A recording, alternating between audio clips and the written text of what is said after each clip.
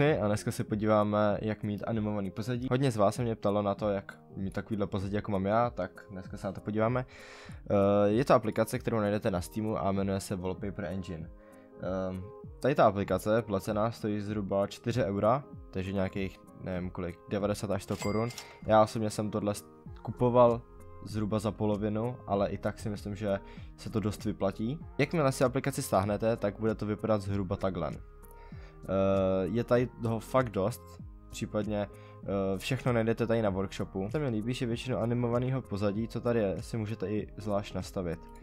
Jo, takže když třeba dáme tady moje pozadí, který se jmenuje by the way Kung Fu Panda prostě, tak je dost dobrý, jak tady můžete vidět, eh, jak tady padají nějaký ty vločky nebo co. Tak když tady zrychlíte ten playback rate, jo, tak si můžete nastavit tu rychlost. Můžete si to jen stlumit, dokonce i hudba k tomu je, jo, což je celkem cool. A ještě vám chcete ukázat nějaký docela dobrý pozadí. Takže když se přesuneme tady na workshop, napíšeme T001, tak vám vyskočí takovýhle wallpapers. Já to hodím na druhý monitor, abyste viděli, jak to vlastně celé vypadá. A třeba tady ty, mě, tady ty dvě mě přijdou třeba dost cool, máte tady různé barvy.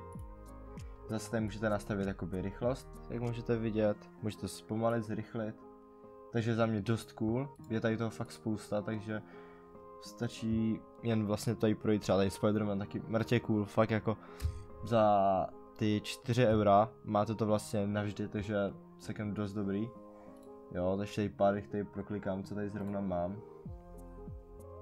Tady s hudbou, jo.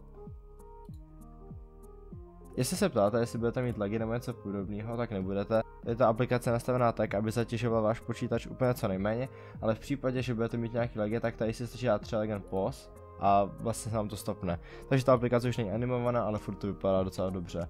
Takže třeba co dělám, když jdu hrát, tak si tak jen prostě pauznu nebo cokoliv. Případně tak můžete dát quit a ona se vám to vypne a můžete jenom hrát. Nepocituju osobně žádný lagy nebo delay, když to mám zapnutý, ale mi to takhle nedá. Tohle je z dnešního video vše, doufám, že se vám pomohl a budete taky používat Wallpaper Engine, je to fakt cool.